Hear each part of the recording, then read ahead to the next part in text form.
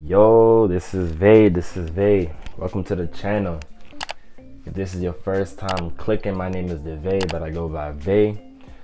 Long story short, I've been traveling the past two years and I stumbled across Africa because why not? Especially for a person of African descent. So, a little bit about me. Um, I'm a Jamaican born in America. Both parents are from Jamaica. My whole family immigrated. I'm the first immigrant child of the family, if that makes sense. First generation. So that's why I talk like this and not Jamaican patois like you're probably expecting. Anyways, I want to talk about my experience in Africa the past three months. Right now I'm in America, but I want to reflect on my experience in Tanzania and Kenya those three months. So I want to cover a few things I wrote down. I got, I'm gonna cover what the food was like, the culture, how I was treated, dating, and the expenses. My name, my name, my name. And before I cover those five things, follow me on Instagram at Vayvonte. I'll put it in the description. You could DM me if you're looking to host me anywhere in Africa, things like that. You know, we could talk, we could chop it up and things like that. Because I'm always traveling. We're going to start with food. How was the food in Tanzania and Kenya? So I'm gonna start with the food is great. The food was great. I liked it. I liked it. The food was great. Um, the more closer you are to like villages and stuff, the more nutritious stuff you get. You know, they have like a lot of varieties of teas and porridges, a lot of fruits everywhere, like bananas, um, passion fruits, guava, just everything. Mostly depends on the region, but for the most part, you have access to a lot of stuff. Now, I want to say, compared to Jamaican food, you can't compare. You can't compare. So like what I realized, um, I don't know if this is for all of East Africa because I'm only speaking for where I experienced. So politely correct me if I'm wrong, but I noticed a lot of the food on this side is not very like um, spicy and flavorful. Like they don't they don't put so many spices like in one dish. Like you know if you try like Jamaican food or Caribbean food, like you taste like the different flavors and, and, and spices and things. Like they, they just cook a different way. Even like when they're cooking meat and stuff, I tell people all the time. Like in um, Kenya and Tanzania, for example, like they'll have like these little, they'll have like a stick, and the stick will have like meat on it, like a kebab, and they'll season the meat as it's cooking. Like they'll put salt and those things like a little after. Like they don't really do it before. And when it's finished, it's not really tender. Like you gotta really chew, chew sometimes it's nice though, but most times I got it, it was like very, very chewy. And that was just a little different because you know, like when you're making jerk chicken, you you put the seasoning like two days, one day before time, so the seasoning like sinks into the into the meat. So that's one thing. But the food out there was excellent. Though I will warn you, I did get food poisoning, I think like twice, man, in Tanzania. Like I don't know what it was I was eating off of the street, which was my fault. You want to be careful what you're eating and use your common sense. But me, I was just freestyling, so I paid the price. It was like this little uh, rice doughy thing. I ate it, man. The next day, me and this other guy were out of business, man. So yeah, uh, I warn you about that, especially if you're coming from the U.S. Your stomach might not be used to the food, and you probably will get like diarrhea like once before your system is in check. But overall, the food was nice. I actually miss it. Being in the U.S. right now, the food the food is garbage. garbage compared to the stuff I was getting out there. Like the abundance of fruits and stuff every day, so good for your skin and mind, body, and soul, everything. So yeah, food was nice. now the culture um, for me, it wasn't too much of a culture shock because I've been traveling uh, pretty much my whole life. Even when I was younger, I used to travel around with my mom a lot, so I was used to seeing different cultures every other month, every other year, and things like that. And compared to American culture, it is very, very different, and East Africa is very sophisticated, like in Tanzania, like it's only it's either you Muslim, Christian, or yeah, I think that's it. Yeah, when you go to Dar es Salaam, most people are like Muslims.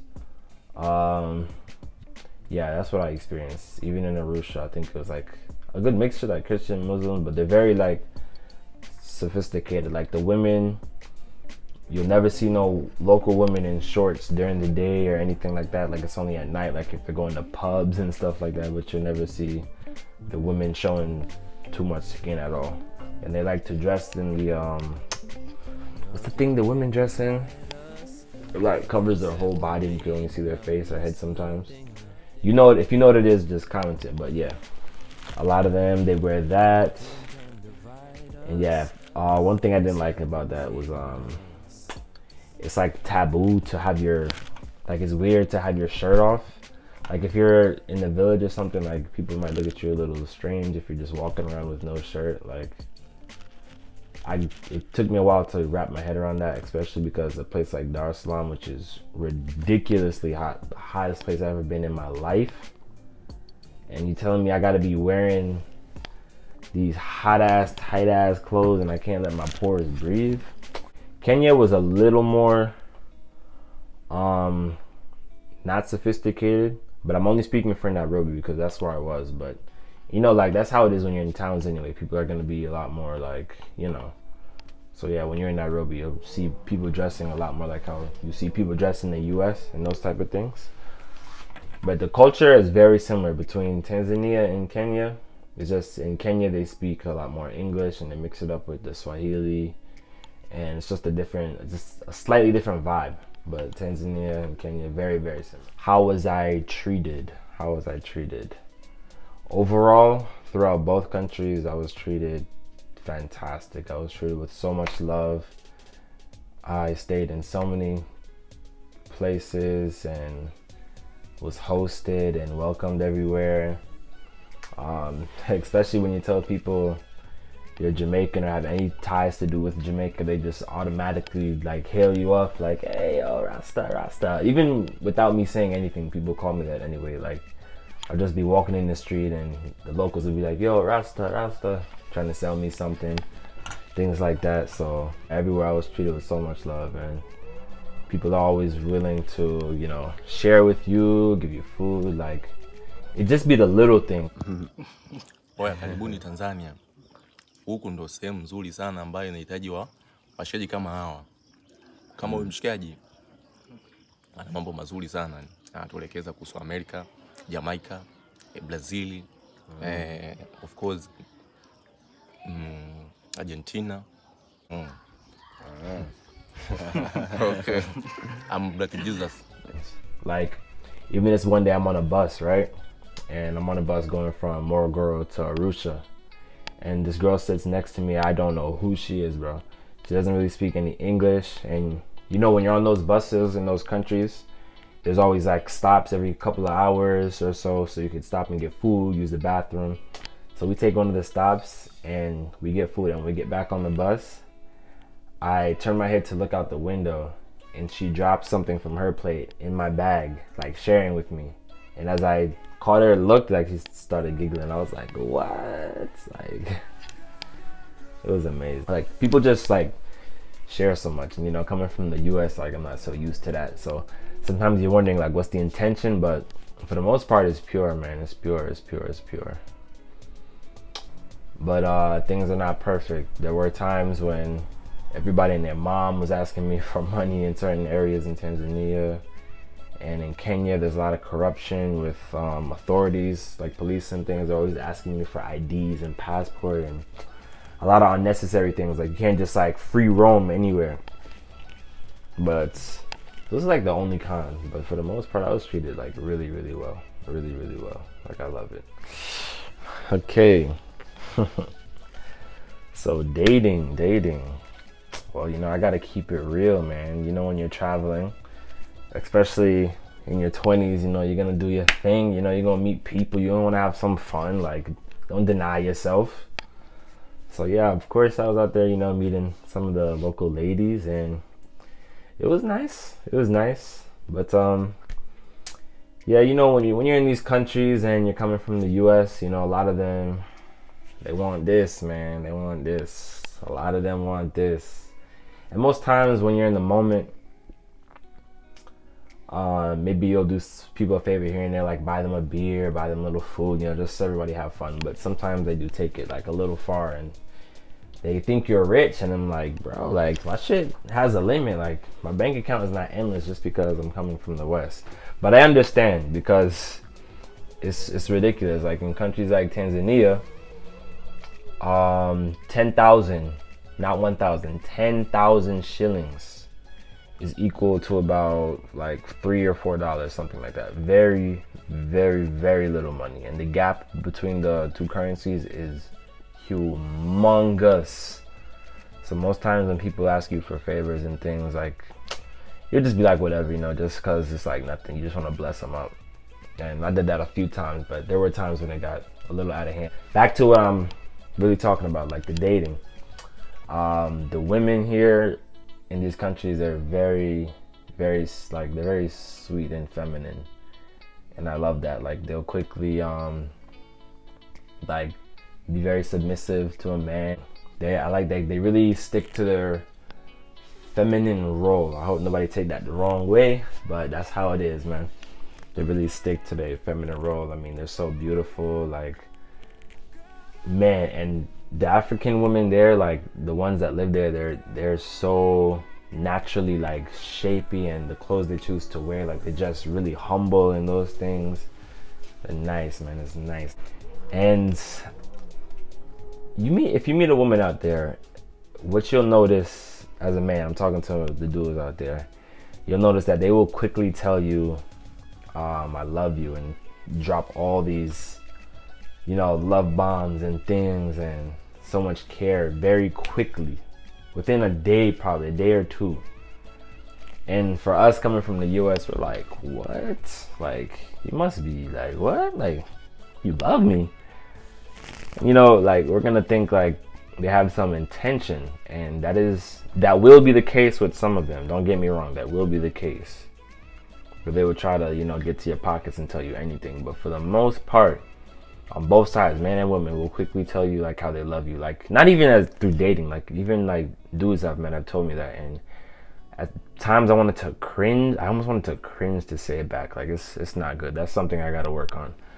But it just shows you how quickly they're able to to love sh- love and show love in those countries for us coming from the west it might be weird just because of how toxic media and music and things can be. It just programs our brain to think that someone is always like lying or cheating or you know you know how things are. But there what i realize is when they say them those things they actually mean it. And the reason they do those things so fast is because they're grown in love they're raised in love so it's easy for them to show love. So it's not weird for them to express those things so quickly and then they actually mean it. But yeah that's one thing i learned out there so. I gotta you know i gotta loosen up. I still gotta loosen up a little more you know we're not perfect we're human. That's one of my flaws. But yeah i've noticed that they are they open up very fast the women there. So the last thing i want to cover is the expenses.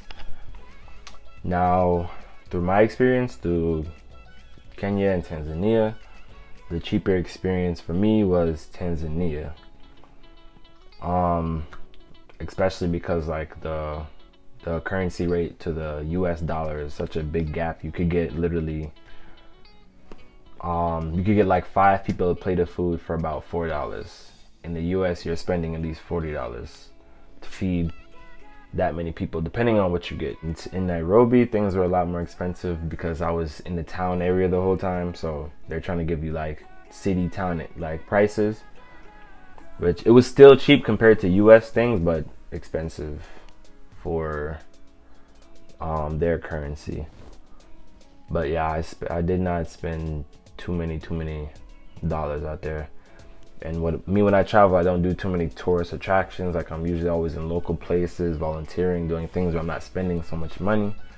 Therefore i saved a lot. But I would say for someone for I I would say if it's your first time going to Africa, I would choose Tanzania because one is very affordable, the language is easy, it's very authentic to African culture, and it's just a good way to come in because there you have a lot of culture. You could go meet the Maasai, you could go on safari to Serengeti, you could go to Kilimanjaro, you could go to Dar es Salaam and party up, Arusha. There's many places and I didn't even go. I, I don't even think I covered 20% of the country. Tanzania is a huge country in East Africa. I was only in Dar es Salaam, Morogoro, Arusha for a little bit, and Moshi for like one day. So I barely covered 20% of the country. But there's many places I heard of them. Mwanza, Zanzibar. I didn't even go to Zanzibar. But many, many places. So it's very, very affordable. But yeah, man overall my experience was amazing i feel so proud of myself that i was able to go out there and do everything on my own traveling alone you know just out there out there out there and i learned a lot man. I learned a lot. And i'm definitely going to be back out there. I don't know when yet but very soon. Yeah man. One love. Live your best life. Go out there and get what you want man. Live it up. Live it up. Have fun. Smile. Don't take yourself so serious. So thank you for watching. Like this video. Um, comment something nice if it inspired you to travel. Any questions you got, you could DM me. Anything like that. So till next video. Peace.